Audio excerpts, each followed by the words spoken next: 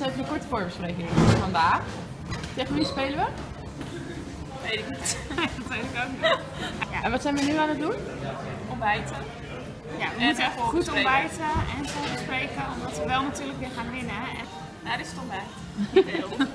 Met uh, boter jam, goede suikers voor de energie.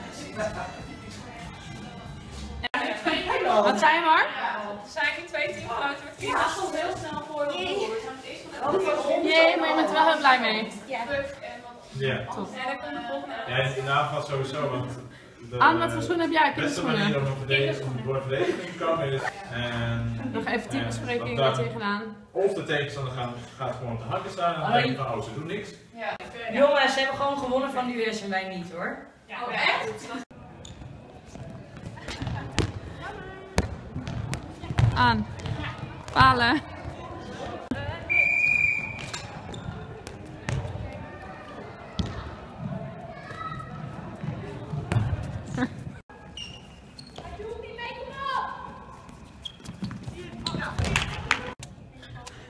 Ja, ja precies. Maar eh, juist omdat 9, ze heeft wat te makkelijk gescoord eigenlijk. Dus, en, Maar ze schiet ook van 9 meter, dus dat is een beetje moeilijk te, te verdedigen. Eh, 8, 7 voor.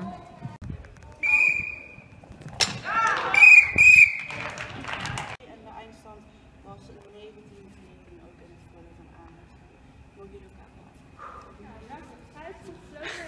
Dan de scheidsrechter steekt daar heel flink. AC! Vriendschap!